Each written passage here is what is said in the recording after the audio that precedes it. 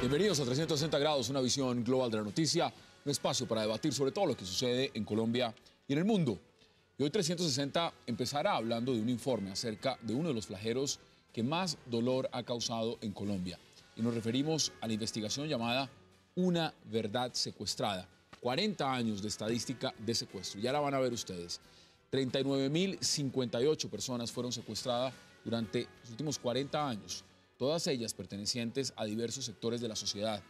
Es la cifra que arroja el estudio, una verdad secuestrada revelada por cifras y conceptos, con el apoyo del Centro Nacional de Memoria Histórica y el Departamento Administrativo para la Participación Social. ¿Qué sucede con el secuestro en Colombia? Tema de debate esta noche en 360.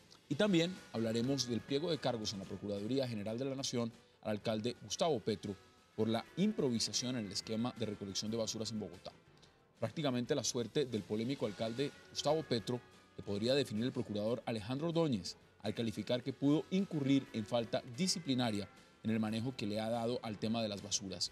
Además, ahora el Consejo Nacional Electoral declaró que el acceso del alcalde Petro a las firmas de la revocatoria es violatorio al derecho a la intimidad. ¿Qué viene ahora para el alcalde mayor de Bogotá y qué precedente podría marcar su caso? Lo debatiremos esta noche con nuestros invitados y no se muevan que ya en segundos le doy la bienvenida a todos ellos.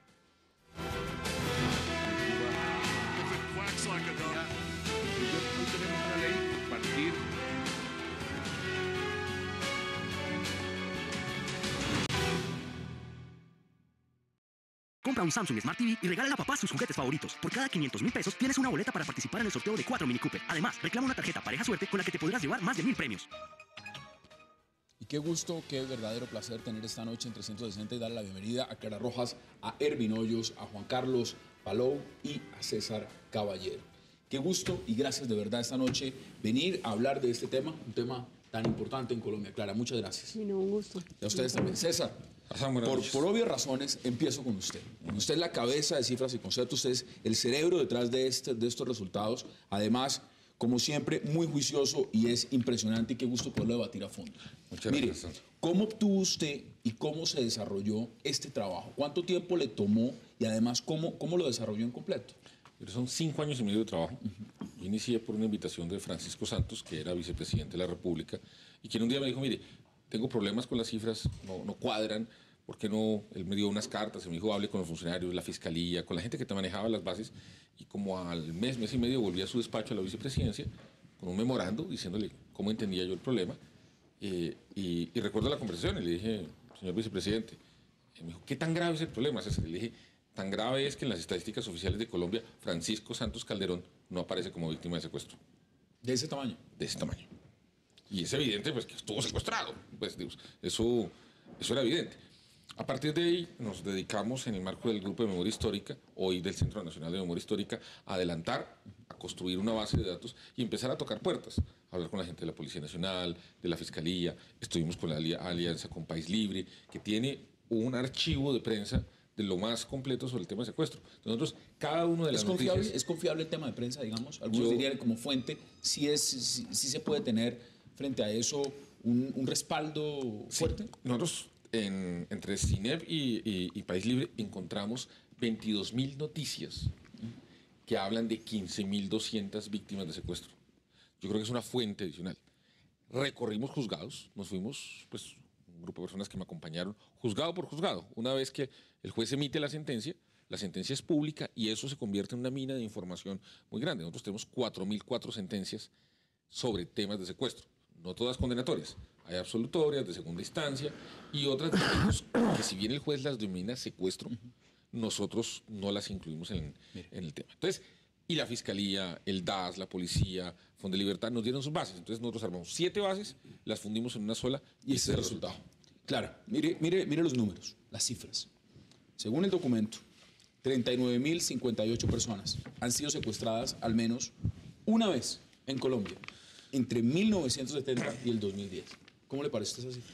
Sí, a mí, me, a mí me dio mucha tristeza. Es un poco lo que contaba ayer porque yo nunca imaginé que esto tuviera estas dimensiones. Habíamos hablado de 400, habíamos hablado de 16 mil en su momento, incluso con Erwin. Llegamos a hablar con un estudio que hizo semana de 24 mil, pero ya casi llegar al doble. Casi duplicarlo. Entonces, a mí sí me entró un escalofrío cuando César me mostró esto, porque uno nu- nunca se imagina que esto tuviera estas dimensiones tan horribles, ¿no? Ervin, si alguien ha estado y conoce desde el punto de vista de los medios y ha puesto su trabajo social en pos de los secuestrados, es usted. Y ha sido víctima. Y ha sido víctima de secuestro también. Sí, ¿Cómo, sí figura en la Sí, encuesta. claro que sí. Claro que sí. cómo ve los resultados? ¿Cómo ve lo que significa? Porque ya vamos a empezar punto por punto a, a analizar. Bueno, yo quisiera eh, reseñar que este informe que ha hecho eh, César Caballero tan juiciosamente nos da a entender primero que durante los últimos, especialmente los últimos 20 años en Colombia, los gobiernos se dedicaron premeditadamente a ocultar el secuestro, premeditadamente, porque es que a un gobierno cuando se le suben las cifras de secuestro, eso inmediatamente rebota en los efectos de su popularidad, en el control de la seguridad. Si ustedes conocieran cómo un gobierno se preocupa por, ojalá que los medios siempre estén hablando bien, esto es lo que más afecta a un gobierno. Por lo tanto, ocultar las cifras de los secuestros es una estrategia y hay que saber hacerlo y lo han hecho muy bien. Y una manera es también negar las víctimas, mandarlos al patio trasero de Colombia. Mire lo que dijo hoy el presidente Santos justamente por el secuestro express y el asesinato de un agente de la DEA. Claro. Justamente. Entonces, entonces, mire, para entender esto, aquí en este informe salen muy mal libradas las FARC como los peores secuestradores en la historia, pero también el Estado y su justicia. La justicia más inoperante en la historia, el 92% de impunidad y la incapacidad para combatir un delito está demostrado en esos 40 años. Juan Carlos, bienvenido también. Mire, ya pone el tema de, la, de las FARC y me le lanzo de una vez sobre ese punto porque aquí estamos hablando de unas negociaciones de paz en La Habana. Y como dice Ervin, las FARC quedan muy mal paradas con este informe, por ra- razones que usted me puede corregir, César, si estoy dando mal las cifras. Mire, yo cogí y hice los cálculos. 39.058 secuestrados. Si hablamos del 37%, con, el- con esa cifra del 37% de responsabilidad de las FARC sobre esos secuestros, eso me arroja 14.451 secuestros. Pero no, Miguel. ¿Cómo sería entonces, más o primero, menos? primero, esto no es una encuesta. Estos son los 39 mil, son personas con nombre y apellido. Con nombre y apellido. Y yo sobre cada caso tengo un volumen de información. No tengo el 100% de la información sobre cada caso. Lo que tenemos que decir es que yo puedo, yo puedo afirmar que como autor presunto tengo el volumen de información para 29 mil casos. Confirmados. como autor presunto. O sea, 30 mil casos y las FARA ahí ocupan el primer lugar con el 33%. O sea, esto viene siendo casi 9.900 casos. Pero como autor confirmado, es decir, que tenemos una sentencia, que yo hablé con la víctima y me confirmó, probablemente la víctima sabe quién lo ha tenido secuestrado, o que el mismo victimario sacó un comunicado de prensa, lo tenemos el 37% para 9.082 casos. Pero el, casi el 40%, el 37% de 9.082 casos es un montón de personas que muestran eh, no solo esos 15.000, pero ese es, esa es la cifra sobre la cual yo puedo dar fe porque está ¿Eso documentado. cómo podría afectar, digamos, la percepción, además de lo que está teniendo en cuenta ahora la negociación, sabiendo que estamos en uno de los puntos más álgidos, participación política? Sí, bueno, yo creo que es claro que estamos negociando con secuestradores. Sí. Sí, es decir, Sí. ese es el punto de partida, pero el hecho de que ahora confirmemos de manera, digamos, científica y que tengamos evidencia empírica sobrada para mostrar que además han sido los mayores secuestradores, que son los maestros del secuestro. Me imagino yo que debe haber habido una transferencia de tecnología, entre otras, de las FARC a los otros grupos, aun cuando pueden desempeñarse de manera diferente, pero Obviamente viene el problema de si se trata de un crimen de lesa humanidad en la medida en que es un crimen sistemático y generalizado. Y creo que sobre ese punto, eh, digamos, no habría duda. El tema es quién habrá de responder específicamente sobre esos actos. Es decir, habrá que buscar a los máximos responsables de la política y ahí cabría, pues, para empezar, el mono Jojoy que tenía, digamos, entiendo que en la medida en que está muerto parece una manera de esquivar el tema, pero el mono Jojoy fue el que se inventó, o por lo menos el que promulgó la ley 002, que era la ley que legitimaba la extorsión y el secuestro.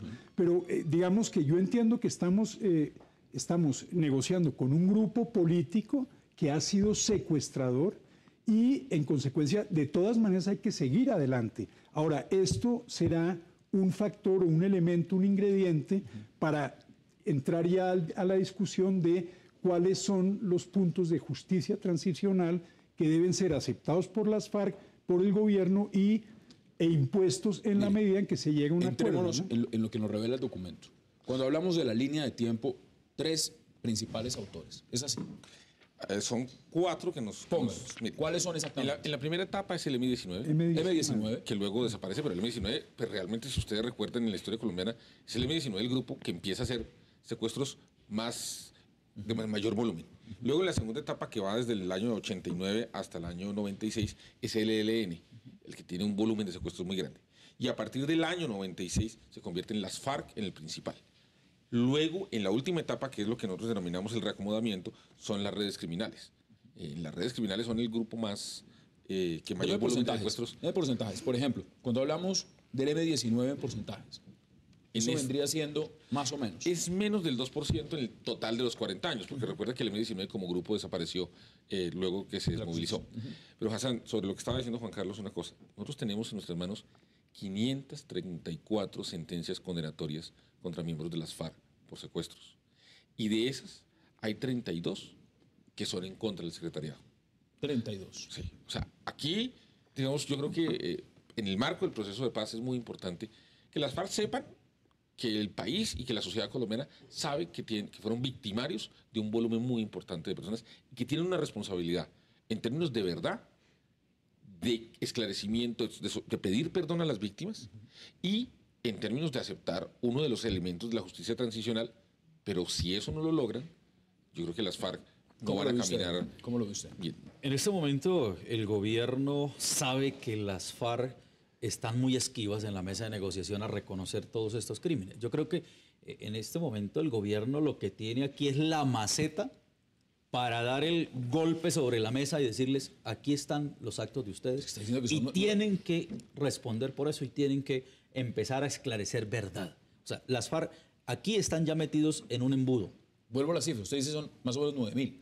9 mil. 9 mil secuestros de las Claro. FARC. 9 mil. Y ojo, no hemos hablado, y yo creo que vamos para allá en un momento, porque hay que hablar de los secuestros de extranjeros. Y la justicia internacional, la justicia de, de los demás países va a reclamar un día justicia por Es esos que aquí casos. están las cifras, esto está muy completo. Es que aquí sencillamente uno solo pasa las páginas y lo que ve cada vez es, es más revelador. O sea, yo no sé qué va a hacer el gobierno para evitar que les cojan a los negociadores en cualquier aeropuerto, lo que hablamos esta Sí, mañana, no, en cualquier no, frontera. yo lo que, lo que entiendo es que el gobierno ya puso sobre la mesa en La Habana este informe y le está diciendo a las FARC, usted no puede evadir el tema de las víctimas. O sea, ya le confirmaron eso. Eso ya me lo Tengo que ir a la pausa y quiero volver con usted, Clara, para que me dé su concepto de lo que está pasando en La Habana y cómo este informe puede de alguna u otra forma cambiar la circunstancia de la negociación. Vamos a la pausa en 360 y ya regresamos.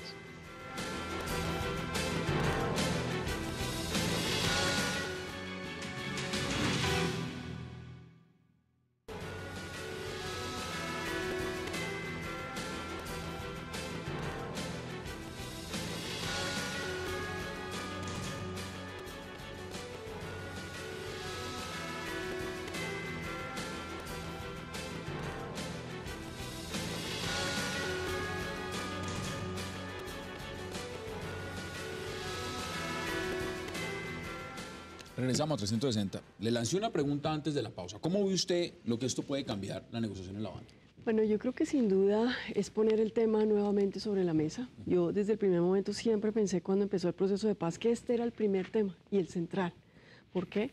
Porque obliga a las FARC a comprometerse de veras hasta dónde quieren llegar, hasta dónde quieren asumir una responsabilidad política, hasta dónde quieren, sí, estar dispuestos a, a firmar la paz, porque ellos también necesitan demostrarlo. De Han dicho manera que ellos que... no practican el secuestro. Sí, han dicho. eso es lo que dicen. ¿Se puede creer desde, desde País Libre los seguimientos que ustedes han hecho y lo demás? ¿Eso es cierto o no es cierto? No, no es cierto. Lo que hemos visto es que desafortunadamente algunos bloques todavía mantienen gente secuestrando, pues no en los niveles anteriores, pero lo tienen. Ese es un tema. Y el otro que yo veo ahora muy importante es porque lo que necesitamos es que ellos se comprometan a asumir una responsabilidad sobre estos hechos. Por eso a mí siempre me ha parecido que este ha debido ser el primer tema, pero bueno, enhorabuena, volvió a- otra vez a estar en el, en Aquí el lo hablábamos antes de entrar al aire, el timing. Yo no sé Sí. si le van a creer, pero el timing llegó y, y- y llegó en el momento que era. Ahora, hablemos de las modalidades. ¿Cuáles son las modalidades de secuestro? Las que más se dan en Colombia. Mire, básicamente el 79% es contra una persona específica. Es decir, esto, esto no es... La gente creyó que con las pescas milagrosas era que estaba el gran volumen. Eso no es cierto. Voy a colocar un ejemplo. Jorge Eduardo Hechen, que fue secuestrado en un avión, donde había muchas personas. Aterrizan al avión y se lo llevan a él. En esta base está contabilizada el secuestro de él, no de las otras personas. Eh, y el 16% es un reteno, pesca milagrosa, y un 5% toma o emboscada que es ejercida en contra de miembros de la fuerza pública. frente a esas cifras. Es decir, esto es selectivo. Ahora, lo amplío un poco más. Esto tiene que ver también con factores económicos, factores políticos. ¿Qué es lo que determina realmente que eh, el secuestro vaya en una dirección y no en otra? Pues fundamentalmente plata, el 84% de los motivos argumentados es plata. Es dinero. Sí, esto es esto que no Es le, un negocio, Que es no un le traten negocio. de decir mentiras al país. Es por plata. ¿Cómo lo ve usted? Y vuelvo y le pregunto, porque el presidente Santos hoy se pronunció enfáticamente sobre uno de los temas y fue el secuestro express y el asesinato de un agente de la DEA. Es decir, es- y, y- y reveló, hizo una gran crítica a las autoridades en Colombia por este tema. O sea, esto, en palabras del presidente, es puede poner muy mal la política de seguridad del país. Llega este informe, ¿cómo lo analiza usted? No, pues mire, yo, yo quisiera de todas maneras retornar un poco al tema del impacto de este informe sobre la negociación y reiterar que no estamos negociando con, pues, ese- con, con monjitas de, como dice el lugar común, estamos, estamos negociando con gente que ha incurrido en unos crímenes muy graves. Pero estamos intentando de que abandonen las armas, de que abandonen la ilegalidad y de que podamos mirar hacia adelante digamos, con una mayor tranquilidad, confiando en que estas prácticas desaparezcan. Pero lógicamente necesitamos que haya un reconocimiento. Yo en lo que tendría más dudas, y claro que tiene que haber máximos responsables, claro que tiene que haber una profundización judicial, incluso el establecimiento de responsabilidades, aun cuando muy probablemente en algunos casos la cosa fue menos premeditada desde lo alto, porque los frentes tenían cierta autonomía, pero el punto es que entendamos que a pesar de todo eso, tenemos que lograr que entren en el proceso de paz, que, que suscriban un acuerdo Y y que si somos inflexibles en términos de ustedes se van 40 años a la cárcel, eso no se va a lograr. No se funciona. No se, la- no se logra. Entonces hay que lograr esa, ese equilibrio y eso que va a beneficiar a todos los colombianos sin detrimento de reconocer los derechos de las víctimas. Pero no podemos plantarnos en la inflexibilidad porque si no, apague ya. O sea, si es que esto es el, el- el veredicto y todos tienen 60 años o 40 años de cárcel, no negociemos más. Yo creo que este informe debe contribuir a facilitar los diálogos, por una razón. Porque es que el país tampoco puede hacer unos diálogos y en 10 años salirles a las FARC con este tema. Claro. O sea, es mejor que hoy sepan a lo que se están exponiendo. Y es parte de los temas en los cuales ellos tienen que asumir compromisos, tienen que decir la verdad. Pero no es solo, pedirle perdón a las pero mire, no es solo el tema de lo que esto puede representar en la mesa de diálogo, es la opinión pública.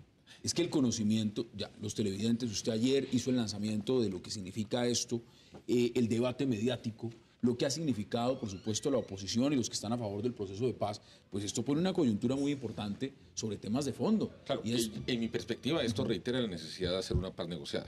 Una paz negociada en la que eh, la sociedad colombiana, en cabeza del Estado y del gobierno y los negociadores, van a tener que ceder cosas. Pero las FARC tienen que asumir compromisos también. Y en este frente, frente a las víctimas, yo creo que un poco el mensaje hoy que debemos transmitirles es que el país sabe lo que hicieron y tienen que responder frente a eso. Pero que ojalá logremos una paz negociada. Aquí va a jugar un papel importante también los países que están apoyando el proceso de paz, los garantes. Yo no sé si los países del ALBA se van a tragar este sapo diciéndole ahora a las FARC ustedes no han secuestrado y reconociéndoles las mentiras que dijeron desde Oslo. Pues aquí Yo no sé si en el mismo, en el mismo, en, en Noruega van a, a- a querer dejar pasar esto de agache como si no hubiera ocurrido. Yo no sé qué va a pasar con Argentina y con Chile. El mismo Cuba, el gobierno de Cuba, esto le tiene que tallar. Porque están 9.000 secuestros. respaldando al grupo más secuestrador de toda la historia. Esto no ha ocurrido en ninguna otra parte del mundo, la dimensión de secuestros como ha ocurrido en Colombia. Entonces, yo no sé si los países juegan un papel importante, comprometidos realmente con la paz para que generen la presión necesaria que tienen Mire, que cumplir. vamos a uno de los puntos. Hablamos de modalidades, hablamos, usted mencionó los cuatro autores, pero hablemos también de lo que significa el tema de víctimas. Cuando hablamos de un rango generacional, género, edad, eh, extranjeros, nacionales. ¿Cómo, ¿Cómo lo sacaron ustedes y qué conclusiones nos arroja el documento? Mire, el resumen es que el grueso de los secuestrados son hombres entre 25 y 55 años de edad, colombianos. Personas que están en plena actividad productiva y que pertenecen a los sectores de funcionarios públicos, actividades comerciales y agricultura.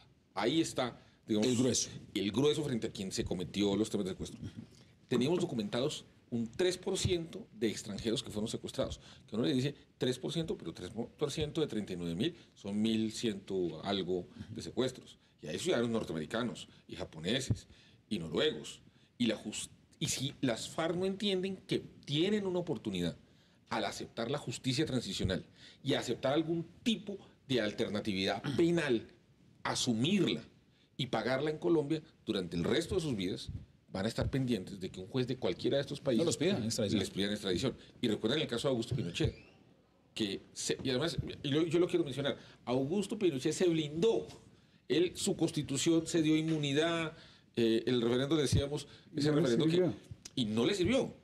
O sea, que las FARC tampoco crean que la constituyente los va a blindar, porque lo que los puede blindar es aceptar esto y asumir que pagan algo de alternatividad penal. Estoy de acuerdo. No les podemos decir ¿La 60 derecha está de pero- acuerdo sobre ese punto?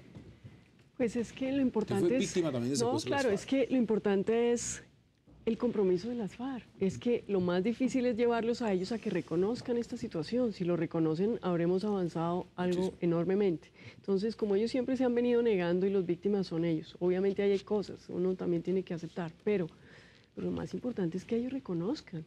¿No? Le pidan perdón al país, porque finalmente es Colombia la que ha estado secuestrada.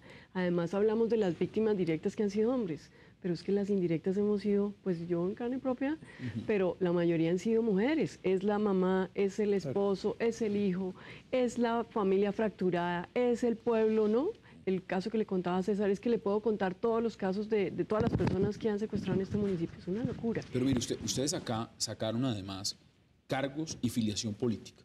Cuando hablamos de cargos políticos, Juan Carlos, mire lo que encontramos.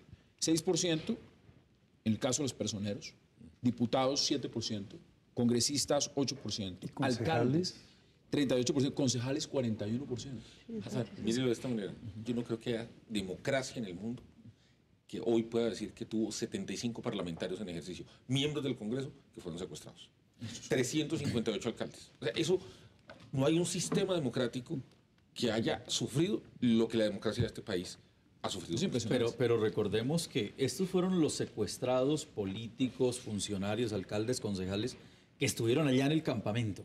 Pero es que como las FARC crearon ese ambiente de terror en todo el país, había pueblos enteros secuestrados.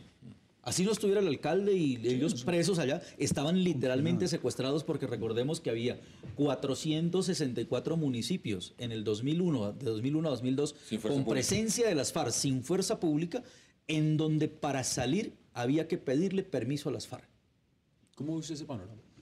Pero yo es que yo, yo estoy de acuerdo, yo estoy totalmente de acuerdo. Hay, hay penas de confinamiento que han impuesto esos grupos armados a comunidades enteras, pero yo quisiera referirme un poco al tema de la responsabilidad que usted planteó, Erwin, de la, de la responsabilidad del Estado, para empezar maquillando, digamos, la realidad. Pero analizando este, esta gráfica de desenlace según periodo, uno observa que en el- entre el 70 y el 89 la eficacia de la, de la fuerza pública era mayor. O sea que probablemente los mismos secuestradores eran más eh, menos incompetentes, menos casos y había un mayor porcentaje de rescate, digamos, por parte de la fuerza pública y eso fue cayendo. Y me parece que coincide con el deterioro producto del narcoterrorismo, producto de la penetración del narco y el, el boom de violencia que tuvimos que padecer prácticamente desde el 90 en Medellín, etcétera. Pero luego en el 2006 vuelve a recuperarse, también es un poco una curva de aprendizaje, ¿no? Es decir, los tipos desbordaron la capacidad de control del Estado y finalmente viene en esta última parte a recuperarse, cuando ya al final empieza a mostrar eh, rendimientos decrecientes. Pero ¿cómo evaluar también un Estado que incumple, digamos, con esa tarea de protección yo no diría que de manera exactamente deliberada, o sea, lo deliberado es tapar la realidad, pero No, no, probablemente claro, eh, yo me refiero a lo premeditado, es ocultar los ocultar, hechos. ocultar la ocultar los hechos, taparlo. que dificulta Pero mire, enfrentar en, la en- en realidad. el tema ¿no? de ocultar los hechos también vale la pena preguntar si lo primero que cualquier persona quisiera saber es dónde, cuál es el lugar en Colombia donde más secuestran. Mire, yo yo Antes de pasar a eso, hay un tema adicional de sistematicidad de las FARC. Póngalo. El Partido Liberal representa el 51% de los dirigentes políticos que fueron secuestrados. O sea, los que más han secuestrado es Partido Liberal. Partido Liberal. Y las FARC han secuestrado funcionarios públicos. Y usted encuentra documentos del secretariado, no del Monojojoy, del secretariado, diciendo que lo que hay que hacer es eso. O sea, evidentemente ahí hay un tema de sistematicidad que a ellos les va a quedar muy difícil eh, eh. Pues esto que lo escuche el señor fiscal general de la Nación. Ahora, sobre los lugares, venga, yo le cuento una cosa. Colombia está acostumbrada a mirar los departamentos, los municipios, pero aquí también presentamos un análisis por microrregiones. Microrregiones es una manera como eh, el Departamento de Prosperidad Social administra los programas sociales. Solo para, para ponerlo sencillo, Antioquia como departamento tiene muchas realidades. Una cosa es el Urabá, otra cosa es el nororiente, otra cosa es Medellín y su área metropolitana. Aquí nosotros mostramos un análisis por microrregiones y por departamentos. Por departamentos, el departamento de mayor volumen es Antioquia, pero el departamento más afectado en relación a su población es el Cesar. El Cesar realmente allí pasó un tema en donde esta población fue realmente victimizada por temas de secuestro. Mire, tengo que ir a la pausa, pero al regreso quiero que hablemos de uno de los factores más importantes de este informe, de este documento. Es el tema de la impunidad y la justicia. Cómo la justicia ha manejado el tema del secuestro en Colombia. Vamos a la pausa y ya regresamos.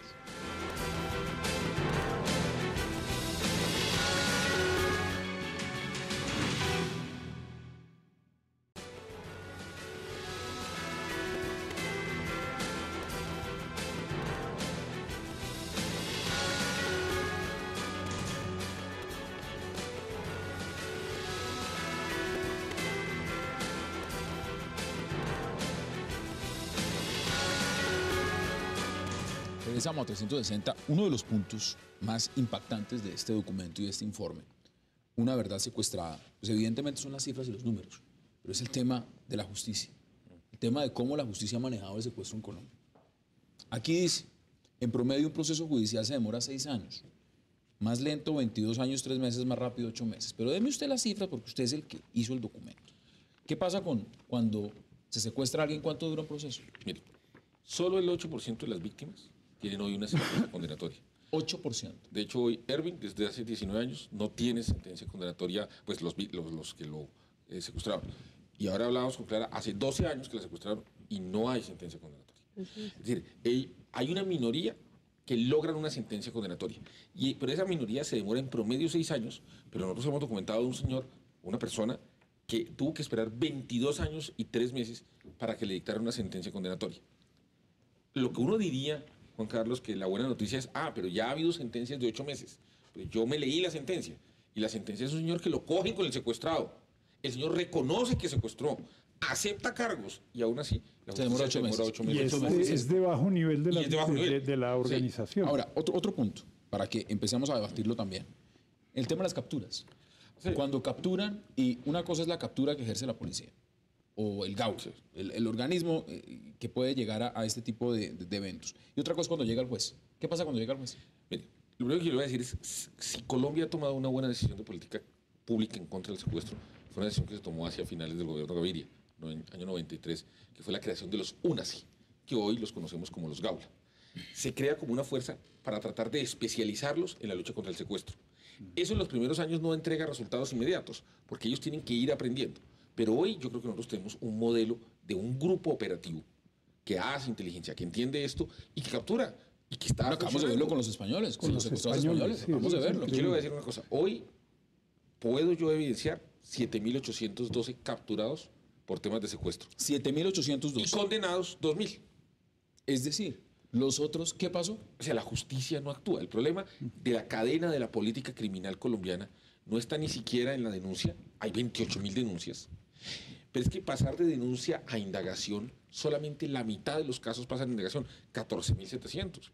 Y para pasar de, de- de indagación a acusación, apenas son 5.200. Yo te pregunto, claro, ¿tú sabes en qué ¿Cómo lo ve, etapa procesal va tu caso? No, en la primera etapa no. En indagación.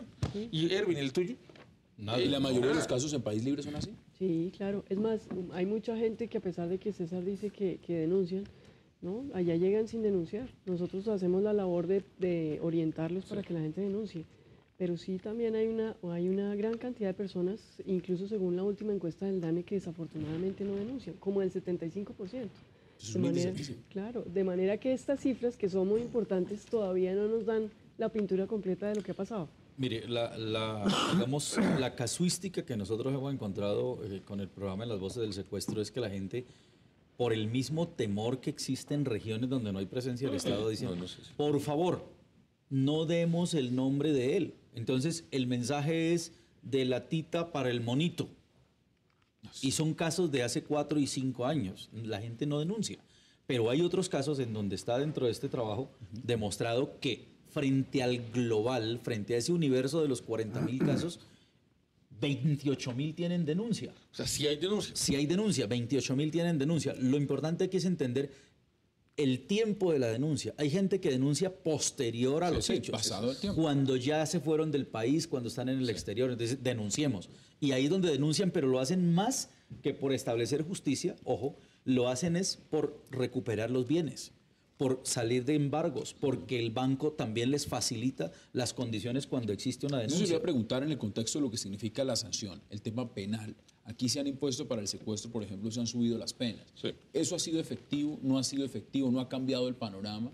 ¿Cómo lo percibe usted en este documento? Mire, mi impresión, pero yo ahí pediría la opinión de Juan Claro, Carlos. por es, supuesto.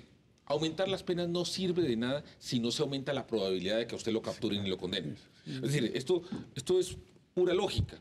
Es decir, si el criminal sabe que tiene una pena máxima de 60 años, pero la probabilidad de que lo cojan es muy bajita, Sí, es cero, no tiene problema. o de que si lo cogen, porque la probabilidad de que lo cojan es alta, pero que la probabilidad de que lo condenen es muy bajita, pues ahí estamos. Pero No, no, yo creo, que, yo creo que eso es, digamos, hay un- una posición hoy crítica de algunos sectores de la comunidad jurídica frente al punitivismo radical que se está imponiendo, que es creer que el derecho penal lo resuelve todo y que todas las conductas indeseables hay que penalizarlas, tipificarlas como delito, porque y luego vienen las, las congestiones en las cárceles. Pero yo entiendo que la justicia en Colombia tiene serísimos problemas. La pregunta es, me haría yo, si no será debido al conflicto. Es decir, usted va a cualquier territorio, digamos, de la periferia, que es una palabra muy fea, pero que existen, de la periferia, y se va a una oficina de un fiscal o a una oficina Guajira, por ejemplo. eh, en La Guajira, pero también en, en- en el- en- en La En Macarena, claro. y usted encuentra unos funcionarios con muy buena fe, incluso algunos muy competentes eh, intelectualmente, pueden hacer nada, porque Están están, limitados. están limitados por la existencia, además salen o tienen que salir con el- el- la protección de la, de la fuerza pública, con lo cual ya la gente ni se les acerca, porque si se les acercan, entonces la guerrilla dice que es que usted está de sapo allá. Entonces, el tema es que, para ponerlo en términos de mirada hacia adelante, la justicia en estos casos hacia atrás y sobre todo hacia adelante mejorará si desaparece uno de los actores del conflicto o los dos, LN y FARC, en el sentido que desaparezcan y se puedan concentrar en las redes va- vamos a- criminales o en otro... va- vamos a mirar el globo, porque evidentemente aquí hay, hay bandas criminales con el tema del Claro. secuestro. Y la pregunta que se hacen muchos es, listo, se firma la paz, se firma, vamos de cuenta que se firma. ¿Eso detiene el secuestro? No, pero facilita mucho la lucha contra el secuestro. Eso sí es absolutamente evidente. Pero ven, Y- yo te digo una cosita. Yo hace dos semanas escuché en un foro que me invitaron a Joaquín Villalobos, que fue un guerrillero El Salvador. Yo estudié con él. La Yo muestra que él nos hace de lo que pasó después de la firma y los niveles de criminalidad que se subieron, justamente porque no hay justicia. Entonces yo creo que siendo proactivos, ¿no? Lo que debiéramos es pensar es cómo, cómo presentamos propuestas para desatollar el tema de la justicia, Yo- cómo yo- se fortalece, se le, en fin. Pero Clara, yo ahí le hago una aclaración porque yo estuve en otro evento que, bueno, que estaba también Villalobos y otro, per- otra persona, digamos, del Salvador, y decía que Felipe González les había dicho, cuando suscri- suscribieron la paz, que habían desmontado a la policía. Y él les dijo, ustedes acaban de cometer Un un, error garrafal porque usted no monta un cuerpo de policía de la noche a la mañana. Entonces, eso permitió que el crimen se desbordara. No va a ser, desde luego, el caso de Colombia. Creo Sí, que yo, todo yo lo creo que aquí contrario. se acaba de tomar una decisión, pero hay, hay que decirlo. Yo, yo he escuchado, no tengo la, la evidencia, que una de las críticas que yo haría que salen de esto de la justicia. frente al tema de la justicia, es que a mí me da la impresión de que estamos ante un delito que es de organización y la justicia persigue personas, Sí. individuos.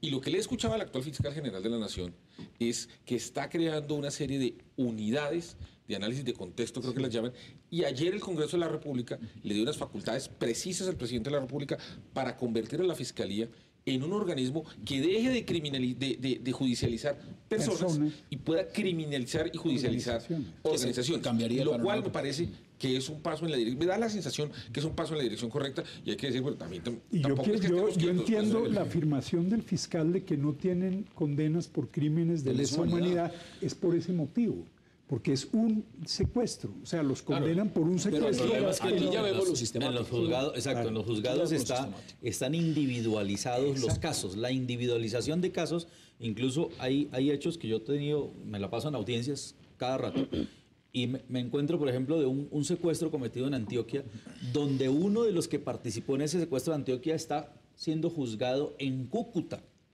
Mire, cuando eso debería estar haciendo parte del mismo libro, De del mismo proceso, Ahora, de la unidad procesal. Un tema que no puedo dejar pasar por alto antes de que empecemos en las conclusiones rápidamente es, en este informe, ¿cuántas personas fueron, murieron asesinadas en cautiverio? Yo tengo evidencia que el 8% de las personas fueron- 8%. Y, yo- y le voy a decir una cosa, no murieron, fueron asesinadas. Asesinadas, por supuesto, fueron asesinadas. porque la asesinadas. responsabilidad de los secuestradores eh, es, es que fueron asesinadas. fueron asesinadas. Y cojamos 8% de 39.058 sería. Sí. Eh, nosotros tenemos el desenlace para 28 mil casos y el 8% fueron asesinados en cautiverio. Esto, nosotros, en 360, la parte de producción, se dio a la tarea simplemente de mirar el caso de ETA en España. De mirar, Para contestar, para, para, para hacer más o menos un contrapeso. En 54 años de ETA, número de secuestros. ¿Sabe la cifra? ¿Se la imaginan? Sí, menos de mil. 79. 79 personas secuestradas y asesinadas por ETA en cautiverio, es decir, en ese, en ese proceso, asesinadas en todo el, el marco, 12 asesinatos. Las FARC en, una, en un solo acto con los diputados, 15. de inmediato. Ahora, yo te voy a dar otro dato de ETA. El Ponga. caso es que ETA, la gente sí fue a la cárcel, ¿sí? Le dieron participación política, pero no lo dejaron eh, entrar en ejercicio, que eso es importante. Yo el otro día estuve escuchando en otro foro al presidente Zapatero y él decía, mire, es muy importante hacer el proceso de paz, yo creo que todos estamos de acuerdo. No hay que perder la memoria. Esta gente, hubo mucha gente que realmente murió, ¿sí? Y hay mucha gente Doce. de ETA que está en la cárcel. Aquí en, Por un- en- estos en un solo acto, y hablemos de lo real, eh, a mí me impresiona lo que usted dice, 9.000 secuestros solo atribuidos más o menos a las FARC. Es algo Mire, que yo, llama yo- mucho la Yo atención. quisiera llegar un poco más Debe al fondo, al fondo de todo esto, Hassan. Nosotros no nos podemos impresionar del modelo de justicia que tenemos, porque es el que nosotros mismos como sociedad estamos poniendo. De nuestros mandatarios, porque es lo mismo. Las instituciones es lo mismo. Es un resumen de la sociedad.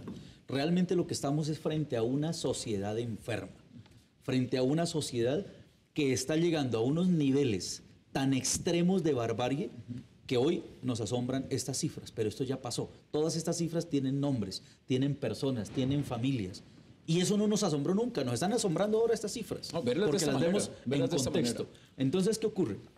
Con un país como el que tenemos, con una sociedad como la que tenemos, lo que necesitamos es realmente un cambio en la mentalidad social. Estamos frente a una sociedad que nunca reaccionó, que nunca ha tomado acción directa y nosotros hemos sido la sociedad los que permitimos que estos 40 Tengo que ir a la pausa. mil casos se hayan dado. Ir a la pausa y por supuesto que me dé sus conclusiones sobre este tema porque usted fue el que hizo el informe. Deme sus conclusiones en 20 segundos.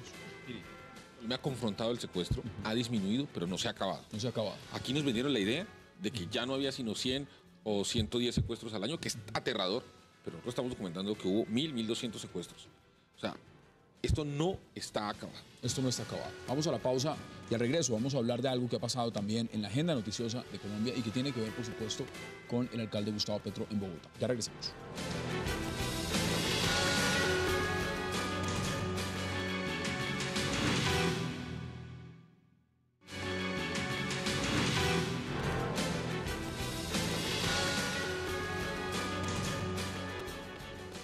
Regresamos a 360.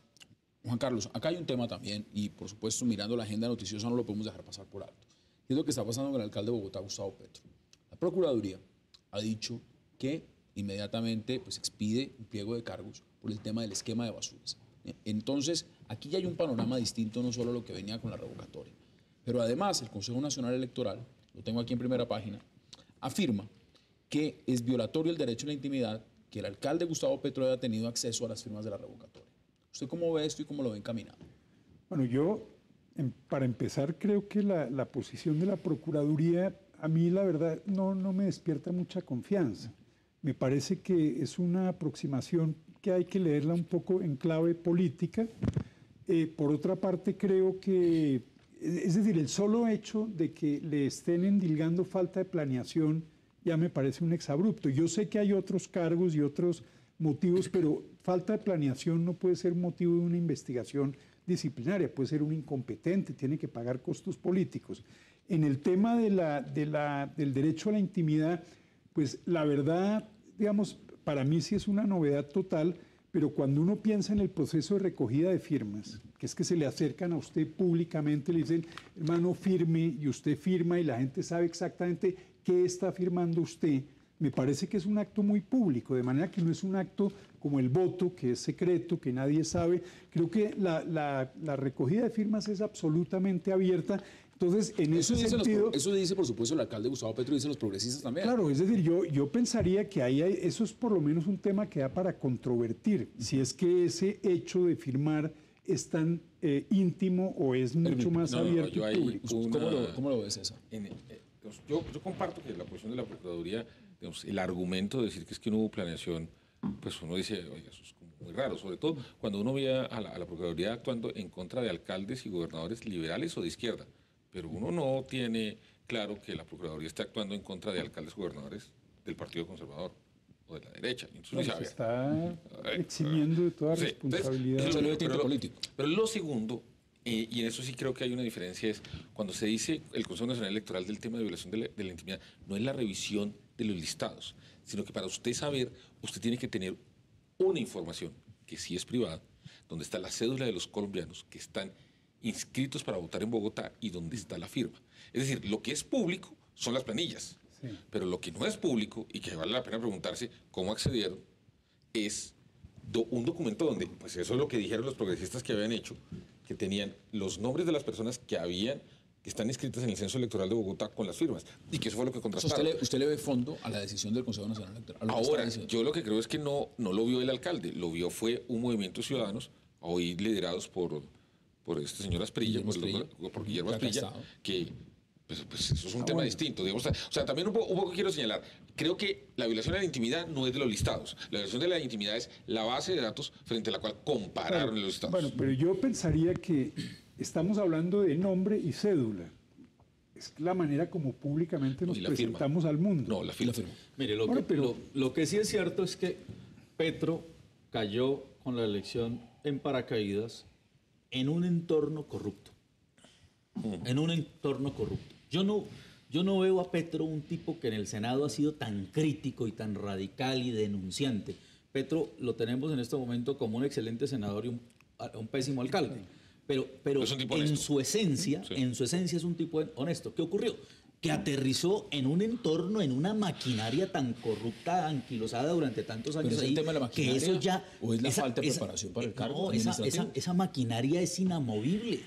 Esa maquinaria ya no se toca. Esa maquinaria tiene demasiados millones de dinero de engrase No, pero de es- todas las muy pesimista, se no, no No, no, yo no soy pesimista, Soy, está soy- diciendo- soy realista Pues aquí ya hay dos frentes, hay dos frentes que se están consolidando. La pregunta, la pregunta va enfocada hacia este sentido. Es, ¿usted cree que por el camino que van las cosas, con lo que está diciendo el Consejo Nacional Electoral, con las firmas que fueron avaladas por la registraduría, con la investigación ya directa que abre la Procuraduría y demás, esto huele a que lo van a tumbar? ¿Usted cómo lo ve? Yo veo que lo van a tumbar. Yo veo que lo van a tumbar y ojalá que no, por el bien de, la, de, de Bogotá. Bogotá necesita continuidad, por lo menos en las iniciativas que él está haciendo. O sea, yo, yo creo que es más costoso para la ciudad que lo tumben a que termine el periodo. Es el costo ¿Cómo ve político, usted el costo esto? administrativo. ¿Por No, qué es, no? es difícil porque los que estamos sufriendo somos los bogotanos. ¿no? Vivimos por la falta de movilidad, por todos los problemas que tenemos en el día a día. Uno quisiera tener una administración que no tenga todos estos vaivenes de que si lo van a revocar, de que si no, lo que están contando. Es difícil, ¿no? Yo es que mira, Petro, poquito yo- Petro se la pasa 18 horas del día defendiéndose, no lo dejan, no lo dejan progresar. Él, él vive pendiente de cómo se pero- defiende. pero la pregunta también, Ervin, es si esos ataques que está recibiendo son injustificados o tienen una causa Permítame, muy Hassan, yo, yo, yo tengo una, una, una razón. Es muy importante que los políticos y los gobernantes colombianos sepan que tienen límites, que no pueden hacer lo que quieran. Ningún funcionario puede decir que está por encima de la ley. O sea, a mí eso me parece importante.